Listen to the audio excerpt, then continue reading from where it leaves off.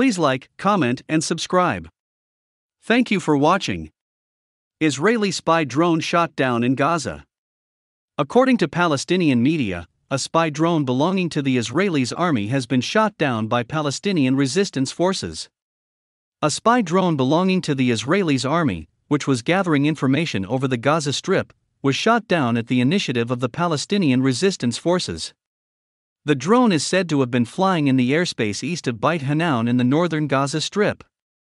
Israeli Air Force frequently uses drones to spy on the positions and fortifications of the resistance forces in the Gaza Strip.